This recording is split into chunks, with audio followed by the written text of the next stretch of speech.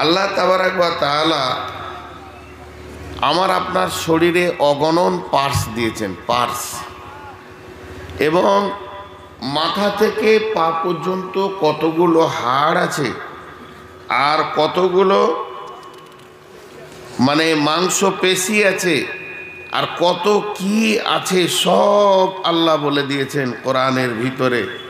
কোনোটা বাকি রাখেননি। কিন্তু আল্লাহ তাবারাকবা তালার কাছে যদি কেউ স্টেটমেন্ট চান যে আমি সারা জীবনে কত সেকেন্ড দেখেছি, আল্লাহ দিয়ে দিতে পারবে লিস্ট যদি আপনি বলেন, সারা জীবনে কত পা চলেছি আর কত কিলোমিটার চলেছি, আল্লাহ দিয়ে দিতে পারবেন।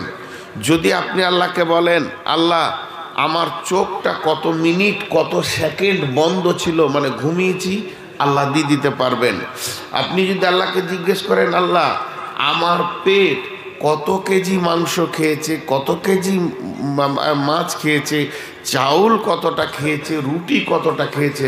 আল্লাহ দিয়ে দিতে পারবেন। আল্লাহ এত বড় কাদির, আল্লাহ এত বড় ক্ষমতাবান যে আপনার একদম তিল পরিমাণ দিয়ে দেবেন। আল্লাহর সে ক্ষমতা আছে। ইন্নাল্লাহ আলাকুল্লি সেইন কাদির। কিন্তু আল্লাহ প্রত্যেকটা পার্সের হিসাব নেবেন। এই বডিটা আল্লাহ নিয়ামত। এই বডিটা আপনার নয়, এটা আল্লাহ দিয়েছে আপনাকে। তাহলে যিনি দিয়েছেন, তার হিসাব নেওয়ার হক আছে। আমি আমি আমার ছেলেকে একটা বাইক কিনে দিয়েছি। কত তেল পুরলো কত টাকা নষ্ট হলো, আর তুই গাড়ি চালিয়ে ক টাকা ইনকাম করে সংসারে দিলি, এই হিসাবটা নেওয়ার আমার অধিকার আছে। কিন্তু আল্লাহ প্রকাশ্যে প্রকাশ্যে একটা পার্সের কথা বলেছেন। দেখেন, এটা কত খাতারনাক। ওই পার্সটা কত খাতারনাক যে আল্লাহ প্রকাশ্যে একটা পার্সকে মেনশন করে বলেছেন। কি বলছেন? বিসমিল্লাহ রহমান রাহিম।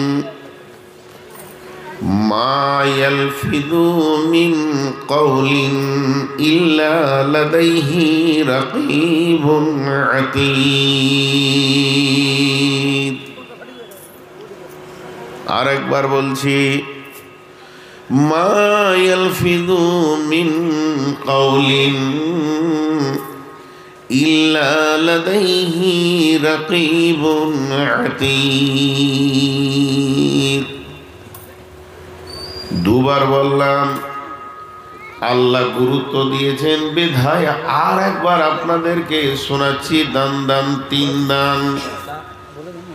আল্লাহ তাবার একবার তালা বলছেন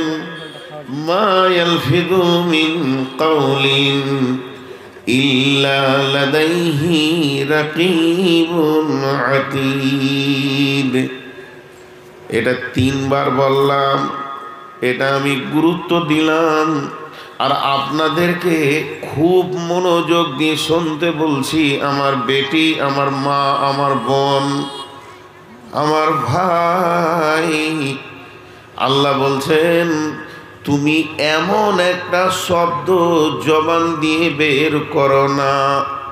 তোমার জীব দিয়ে শব্দটা বের হচ্ছে, আর তুমি ভেব না, ওই শব্দটা সংরক্ষণ করা হচ্ছে না। আমি তোমার পেছনে প্রতিনিয়তি লিখককে রেডি করে রেখে দিয়েছি। লিখকরা যেন তোমার প্রতিটি শব্দকে সংরক্ষণ করছে, ধরে রাখছে। রাস্তায় চলতে চলতে পায়ে চোট লেগে গেছে, টক্কর লেগে গেছে। মুখ দিয়ে খালি বের হয়েছে, উফ। এই শব্দটাও লেখা আছে। তার মানে জীবকে কন্ট্রোল করার জন্যে আল্লাহ বলছেন, যদি তোমার জবান কন্ট্রোল হয়, তাহলে গোটা বডিটা কন্ট্রোল হয়ে যাবে। আর যার জীবটা বেকন্ট্রোল হবে, তার গোটা বডিটা বেকন্ট্রোল হবে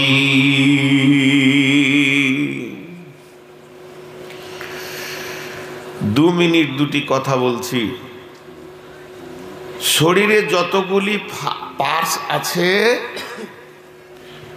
মা বোন, শরীরে যতগুলি পার্স আছে, আমি কথার কথা বোঝানোর জন্য বলছি, এক হাজারটা পার্স আছে শরীরে। এই এক হাজারটাকে একদিকে রাখেন আর ওর থেকে একজনকে বের করে একদিকে রাখেন। তাহলে একজনকে যদি এক হাজার থেকে বের করা হয়, তা ওই দলে থাকবে নশো নিরানব্বই। তো শরীরে যদি নশো নিরানব্বইটা পার্স থাকে, একটা পার্স হচ্ছে ওর সর্দার, ওর কমান্ডার ওর হুকুমে ও চলাফেরা করছে, তার নাম হচ্ছে জীব। তার নাম হচ্ছে জীব। জীব গোটা বডিকে চালায়। জীব গোটা বডিকে চালায়।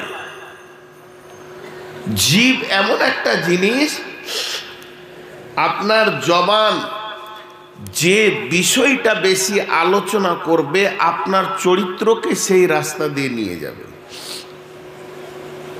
তাহলে জীব বড় খতরনাক। এখন আপনাকে একটা লিস্ট করতে বলছি, মোটামুটি চার পাঁচটা বলছি।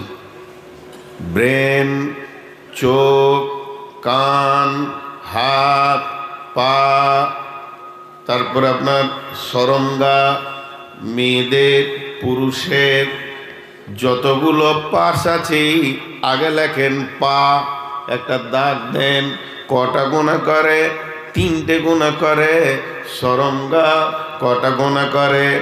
দুটো করে, তিনটে করে। এইভাবে ব্রেন কটা করে? পাঁচটা করে কি দশটা করে? দুটো, তিনটে, পাঁচটা, দুটো, তিনটে, চারটা, পাঁচটা। এর বেশি গোনহা কোনো পার্স করে না। আর যখন লিখবেন আপনি জীব বা জবান লম্বা করে টেনে আপনাকে লিখতে হবে একশো তেষট্টি। জীব এত খাতারনাক, ও একাই একশো তেষট্টিটা গোনা করে।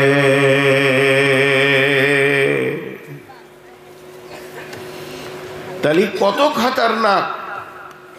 একাই একশো তেষট্টিটা গোনা করে। জি, এখন চলেন। গোটা বডিতে মাংস আছে, হাড় আছে। এইটা হচ্ছে সব থেকে সরু পার্স। এরও ভিতরে আল্লাহ হাড় দিয়েছেন। এই শেষকালেতে নোক দিয়েছেন, এটা মজবুত রাখার জন্যে। কিন্তু জীবের ভিতরে কোনো হাড় নাই, আর মাংসটা অতি নরম। তো একজন আল্লাহর অলি বলছেন, হে হতভাগা, তুমি নরম মাংসতে এত গরম কথা বলো কি করে? তোমার জীব হলো নরম, আর তুমি কথা বলছো অত্যাধিক গরম। মেরে দিব, মার্ডার করে দিব, শেষ করে দিব। জীব তোমার কত খতরনাক। এবার চলেন, আল্লাহ কি বলছেন জীবের ব্যাপারে? বিসমিল্লাহির রহমানির রহিম।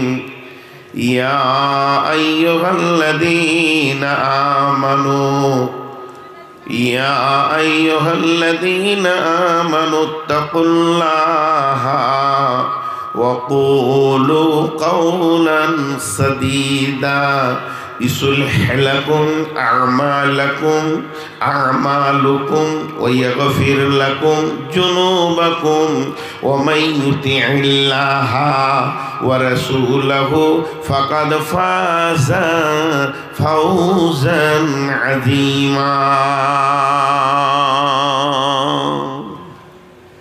আল্লাহ বলছেন সোহান আল্লাহ বেহামদি কত দামি কথা আল্লাহ বলছেন, হে ইমানদারেরা, তোমরা জীবকে কন্ট্রোল করো, জীবকে বেঁধে রাখো, জীব যেন অতিরিক্ত কথা না বলে। তুমি জীবকে বাঁধবে কি দিয়ে? জীবের বাঁধার ওষুধটা কি ইত্তাকুল্লাহ? আল্লাহকে ভয় করে তুমি জীবটা বাঁধো। আর অকুলু কাউলান সাদিদা, তুমি সত্য নরম কথা বলো। যখন তুমি জীবকে কন্ট্রোল করে নেবে, সত্য নরম কথা বলবে, তখন কি হবে? আমালুকুম, যখন তোমার জীব বাঁধা পড়ে যাবে তোমার সারা বডিতে যত পার্স আছে, সবাই ভালো আমল করবে। তোমার আমল চেঞ্জ হয়ে যাবে। আর যখনই তোমার আমল চেঞ্জ হয়ে যাবে, তোমার বডি যখন ভালো আমল করবে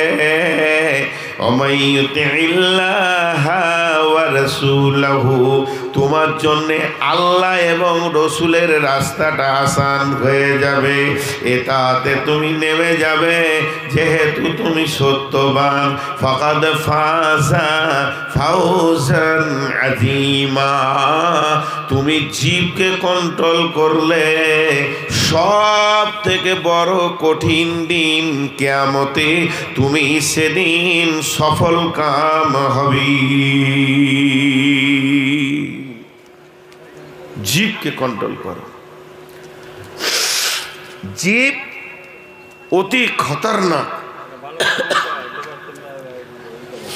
জীব অতি খতরনাক। জীব এত খতরনাক, আপনাকে জান্নাত ঢুকতে দেবে না। এখন একটা দর্শন কথা বলব, দশ পাঁচ মিনিট। এটা ধ্যান দিয়ে শুনতে হবে, এটা ফিলোজাফি। কোরআন হাদিসের সমন্বয়ে হবে কথাটা। কিন্তু ফিলোজাফি দর্শন হচ্ছে অতি কঠিন। যারা বুঝে, তারা বুঝে, যারা বুঝে না, তারা বুঝে না। একটা মানুষ যেদিন থেকে মুখ খুলে, আর একটা মানুষ তার আজরাইল এসে যেদিন মুখে তালা মারে। ওর যখন জন্ম হলো, এক বছর, দেড় বছর পর আব্বা মা বলতে শিখলো মানে মুখ খুললো। আর যেদিন আজরাইল আসলো, ওর জীব তালা পড়ে গেল। এই টোটাল জীবনে ও যত কথা বলে, টোটাল জীবনে যত কথা বলে, তার চারটা ভাগ। যে কথাটাই বের হবে, আপনি চারটা বালতি রাখবেন, যে কোনো একটা বালতিতে ফেলা হবে। যে এটা এখানে পড়ছে, এটা এই ভাগে পড়ছে, এটা এই ভাগে পড়ছে, এটা এই ভাগে পড়ছে, পাঁচ নম্বর ভাগ নাই। সেই চারটা ভাগ কি? এক নম্বরে ভালো কথা, দুই নম্বরে খারাপ কথা তিন নম্বরে প্রয়োজনীয় কথা।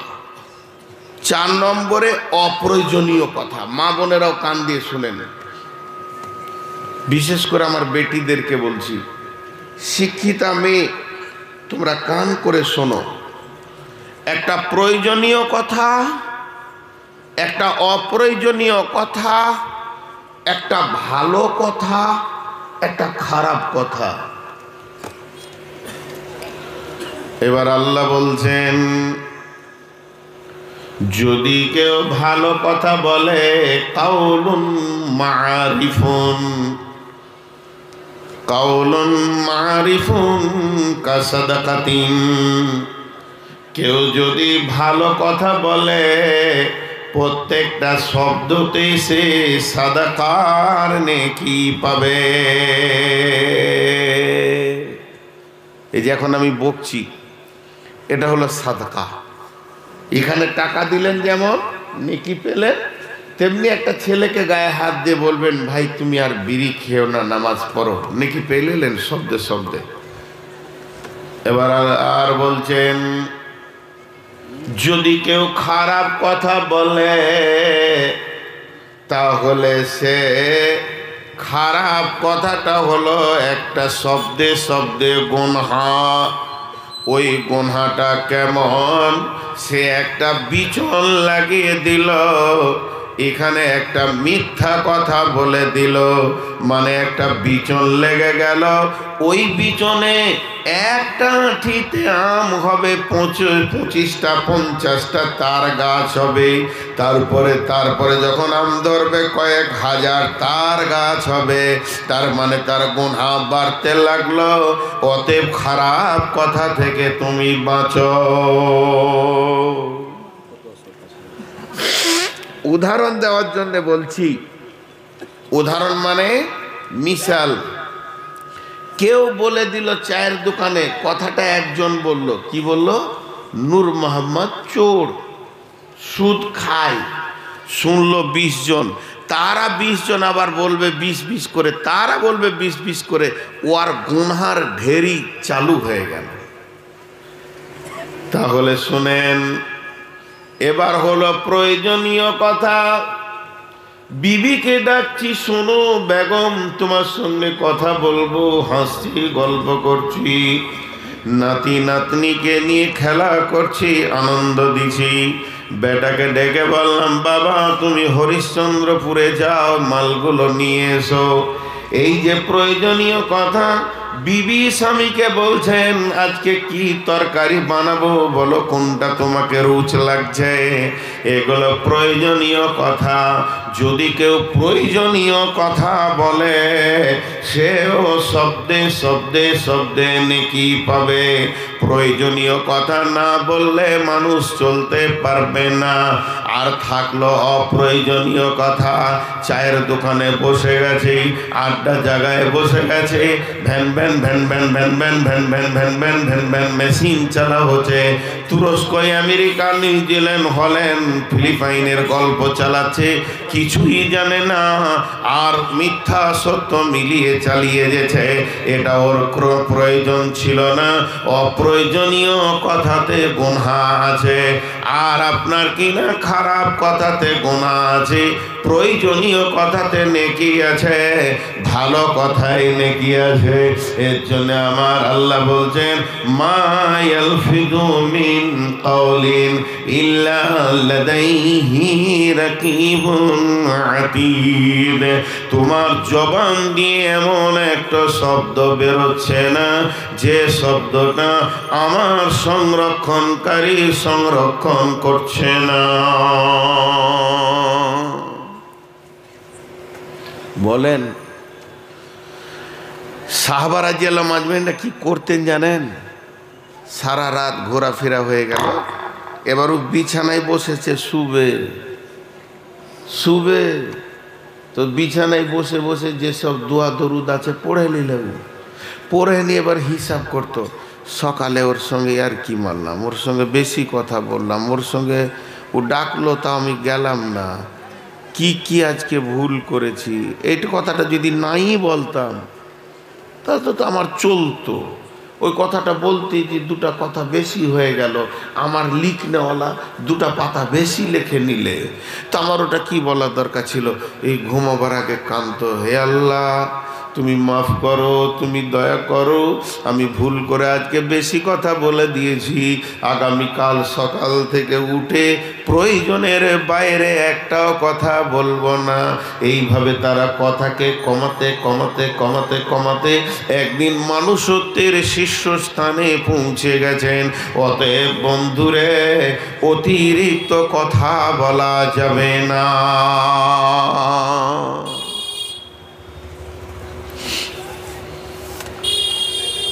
একটা সাইকোলজিস্ট দিব এখন। হিসাব। হিসাবটা মন দিয়ে শুনবেন। হিসাবটা কি? সারা পৃথিবীতে যতদিন পৃথিবী তৈরি হয়েছে, আদম এসেছে আর যতদিন থাকবে, যতগুলো মার্ডার হয়েছে যতগুলো খুনাখুনি হয়েছে যতগুলো লাঠি নিয়ে লাঠা লাঠি হয়ে গেছে, যতগুলো তালাক হয়ে গেছে, স্বামী স্ত্রী বিচ্ছেদ ভাইয়ে ভাইয়ে বিচ্ছেদ, মা বেটায় বিচ্ছেদ, যার পেটে জন্ম নিল সেই মায়ের সাথে সম্পর্ক শেষ, বিবির সাথে সম্পর্ক শেষ। যতগুলো মামলা নিষ্পত্তি হয়ে গেছে এই পর্যন্ত, আর যতগুলো মামলা সারা পৃথিবীতে এখনও পর্যন্ত জীবিত আছে এরপরও যত মামলা হবে সমস্তগুলোকে যদি এক জায়গায় করা যায়, আর একবার যদি জিজ্ঞেস করা যায়, কি কারণে হলো? কারণটা যদি পিছাতে পিছাতে পিছাতে পিছাতে এক নম্বরে যাওয়া হয়, নাম্বার দশ কারণ, নম্বর নয় কারণ, নম্বর আট কারণ, নাম্বার সাত কারণ, নাম্বার ছয় কারণ, নাম্বার পাঁচ কারণ, নাম্বার চার কারণ, নাম্বার তিন কারণ, নাম্বার দুই কারণ, নম্বর এক কারণ। তো দেখা যাবে, মার্ডারটা হয়েছে দশ নম্বরের কারণে। কিন্তু প্রথম ঝগড়া শুরু হয়েছে জীব নিয়ে। ই ওর কথা ওকে লাগিয়েছে, ওর কথা এর কাছে গেছে। যত স্বামী স্ত্রী তালা কাজ পর্যন্ত হয়ে গেছে, ওটা একমাত্র জীবই করতে পেরেছে। আর কেউ পারবে না, ভাইয়ে ভাইয়ে বিচ্ছেদ। তার মানে বউ স্বামী স্ত্রী স্বামী, স্ত্রীকে কথা ফুসফুস করে লাগিয়ে দিয়ে ভাইয়ে ভাইয়ে বিচ্ছেদ ঘটেছে। তার মানে জবানের মতো কঠিন ধারালো অস্ত্র পৃথিবীর বুকে আর নাই।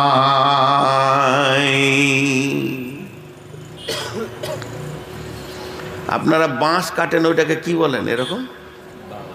দাও। দাও দিয়ে বাঁশ কাটা যাবে, কাঠ কাটা যাবে, দাও দিয়ে গরুর হাড্ডিকে চুর করে দেওয়া যাবে। দাও দিয়ে আরও কত কাজ হবে। কিন্তু দাও দিয়ে মা বেটার সম্পর্ক কাটা যাবে না, স্বামী স্ত্রী সম্পর্ক কাটা যাবে না। পৃথিবী সব থেকে ধারালো অস্ত্র হচ্ছে জীবের কথা। স্ত্রী এমন কথা বলে দিল স্বামীকে, সকালে উঠে মাকে কথা বলে না। আব্বা যে আব্বা লেখাপড়া শিখিয়ে ইট ভাটাতে কুলিগিরি করে ছেলে আমার কলেজে পড়বে। কত কষ্ট করে টাকা জমা করল। ছেলে কলেজে পড়ল, কলেজে পড়ে ইঞ্জিনিয়ার হলো। আর ইঞ্জিনিয়ারে চাকরি করতে গিয়ে কুচবিহারে লাভ ম্যারেজ করে নিল। স্বাধীন দেশে স্বাধীন বেরেন ছেলে উচ্চ শিক্ষিত হয়েছে।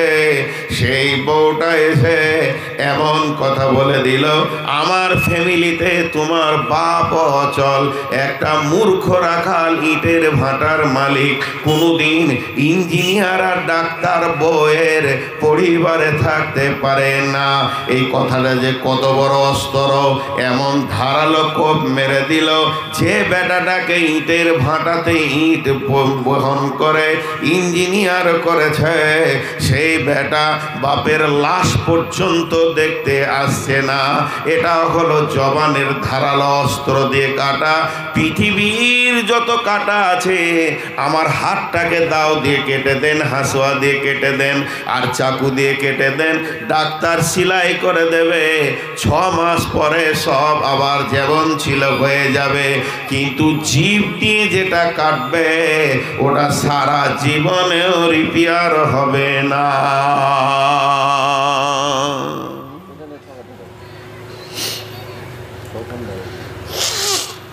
দাও দিয়ে কাটে চামড়াকে, আর জীব দিয়ে কাটে দিলকে, দিল। প্রেম কেটে যায়। আর কত তোদের পায়ে ধরবো রে বাপ? আর কত ধরবো? ওইদিকে দুজন দাঁড়িয়ে আছে। কেউ গিয়ে বসিয়ে দেন আর না হলে এখান থেকে খসিয়ে দেন। বেয়াদব লোক। বংশটা ঘোড়া বংশ। ঘোড়ারা যদি বসে যায় তো দাম কমে যাবে। জীব হলো বড় বেকন্ট্রোল আপনাদের বিরক্ত লাগছে নাকি? জি? এতগুলো লোক চুপ করে আছেন, আপনাদের বিরক্ত লাগছে? আমার শরীরে এখন জ্বর। আমাদের জিন্দগিটা আল্লাহ বানিয়েছে। মানুষ টাকাটা দেখে, কিন্তু বাকিগুলো দেখে না। চারজন বক্তা বক্তব্য করতে করতে মরেছে। আমার এলাকারই দুটো। আমি ছ থেকে সাতবার অ্যাক্সিডেন্ট করেছি, রাত দেড়টায়, দুটোয়। এমন অ্যাক্সিডেন্ট করেছি দুদিকে রোড জাম হয়ে এসে বলছে, আপনি বেঁচে আছেন? তাহলে আল্লাহ আছে তো ভাইয়া, জীব বড় বেকন্ট্রোল। যার জীব কন্ট্রোল হয়ে যাবে, গোটা দেহ কন্ট্রোল হয়ে যাবে। এবার আল্লাহ কি বলছেন? ইয়া আইয়ুহাল্লাযীনা আমানু ইজতানিবু কাসীরাম মিনাজ জান্নি إن بعد الظن إثم ولا تجسسوا ولا يغتب بعضكم بعضا أيحب أحدكم أن يأكل لحم لحم أخيه ميتا فكرهتموه واتقوا الله إن الله تواب رحيم সব থেকে বেশি গিবত করে মেয়েরা। মেয়েরা বেশি গিবোধ করে। তিনটে মেয়ে চুপ করে বসে আছে, দেখাতে পারবেন না। দুটা মেয়ে চুপ করে বসে আছে, দেখাতে পারবেন না।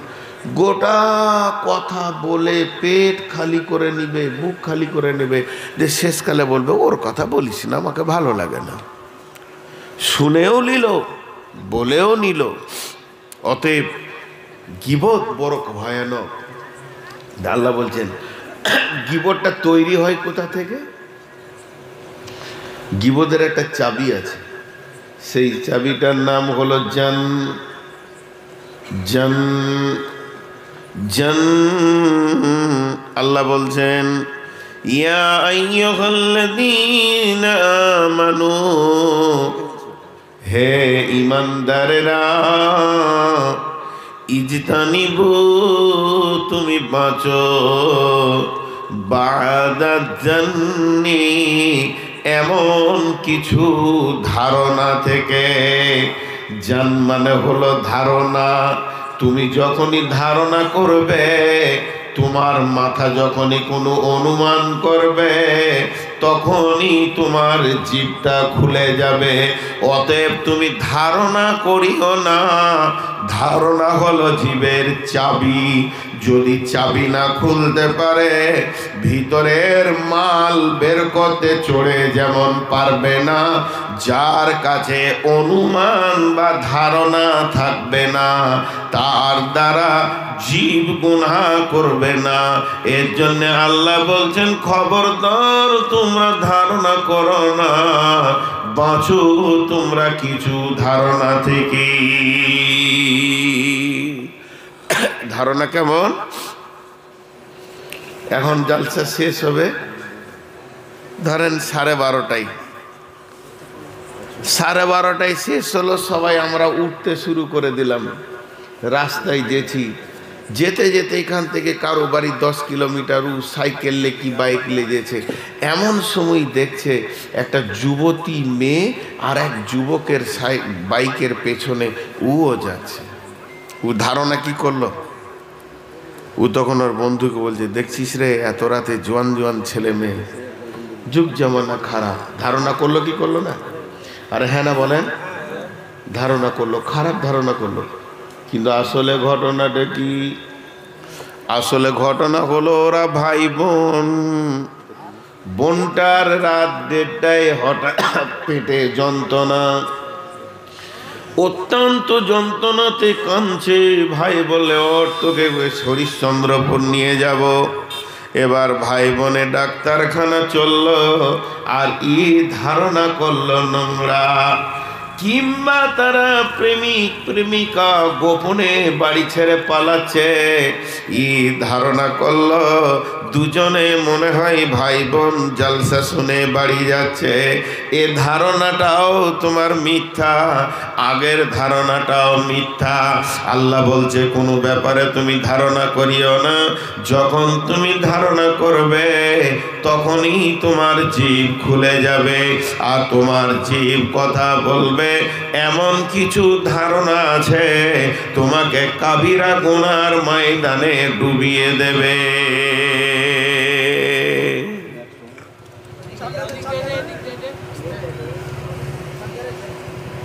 এমন কিছু ধারণা আছে খারাপ। ঘটনা একটি শোনেন, বিশ্বনবী এতে কাপ নিয়েছেন মসজিদে। আর এতে কাপগুলো হয় চাঁদের মাসের শেষ দিকে। বিশ্বনবীর সঙ্গে বেগম সাফিয়া দেখা করতে এসেছেন মসজিদে বিশ্বনবীর বিবি। বিশ্বনবী তার বিবির সঙ্গে মসজিদে বসে বসে এসার পর অনেক আলাপ আলোচনা করলেন এবার মহিলা মানুষ। তিনি বলছেন হাবিবাল্লাহ, আপনি আমাকে একটু আগিয়ে দেন।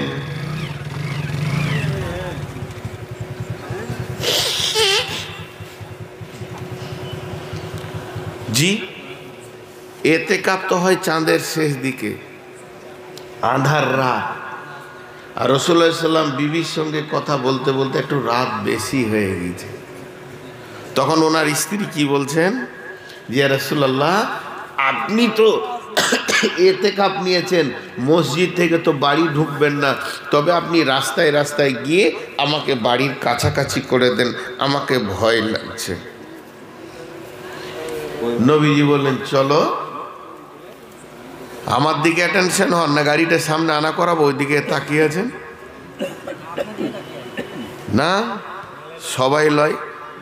আমার চক্ষু সূক্ষ্ম, গাড়িটাকে এমনি করে দেখছে। আহা, গাড়ি দেখার যদি আফসোস থাকে, একটা চট আর হাত পাকা রুটি নিয়ে হাই রোডের ধারে বসবেন সারা দিন দেখবেন। এখন বায়নটা শোনেন। এবার বিশ্বনবী যাচ্ছেন ওনার বিবিকে আগাতে। রাত রাত রাত মানে আন্ধার। রাত মানে?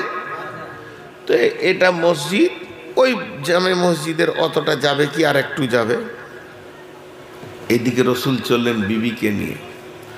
আর ওই দিক থেকে দুই বন্ধু সাহাবি গল্প করতে করতে আসছে। দিয়ে রাস্তার মাঝে ক্রস হলো। বিশ্বনবী চলে গেলেন, ওরা এদিকে চলে এলো। যখনই ক্রস হয়ে গেল আল্লাহ নবী বিবিকে বলে দাঁড়াও, তুমি একটু দাঁড়াও। রসুল্লাহ সাল্লাম ফিরে এক দু পা এসে বলছে, ওই আল্লাহর বান্দা, ওই কে আছো শোনো। দুইজন কাছে গেলেন। এমন সময় দুইজন কাছে গেলেন, নবীজি বললেন রে আল্লাহর গোলাম তোমরা আমার সাথে একটা মহিলাকে দেখতে পেয়েছ। ওই মহিলাটা হলো বেগম সাফিয়া আমার বিবি। বেগম সাফিয়া আমার বিবি। দিয়ে বলছে, যাও।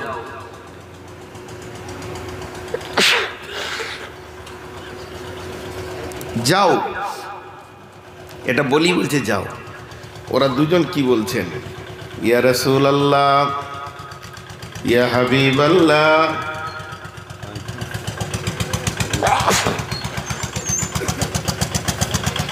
ও দয়ার নবী, আপনার প্রতি আমাদের কোনো ধারণা খারাপ নাই। আপনি বিবি ছাড়া হাঁটবেন না, এটা আমাদের ভালো জানা আছে। যেদিন থেকে আপনাকে আমরা নবী বলে মেনে নিয়েছি, সেদিন থেকে আমরা একদম পরিষ্কার আপনাকে ভালো মানুষ জানি। নবীজি বললেন রে আল্লাহর গোলাম, আল্লাহর বান্দা, তুমি ভালো, তোমরা ভালো, আমি ভালো, আমার বিবি ভালো। তোমরা দুজনে ভালো, আমি ভালো, আমার বিবি ভালো, কিন্তু শৈতান ভালো নয়। কাফেরেরা দিন রাত আমার বিরুদ্ধে নোংরা নোংরা নোংরা নোংরা কথা তৈরি করছে। যদি কাফের বেঈমান মুশরিকেরা কোথাও বলে ওর ব্যবহার খারাপ তখন তোমার মনটা একবার বলে দেবে, আমিও রাতে মেয়ে ছেলের সঙ্গে দেখেছি। আর এটা যখনই তোমার মনে চলে আসবে, সঙ্গে সঙ্গে তোমার ইমানটা শেষ হয়ে যাবে। অতএব এটা যেন তোমার মধ্যে ধারণাই না আসে, তার জন্যে আমি বানটা দিয়ে দিলাম।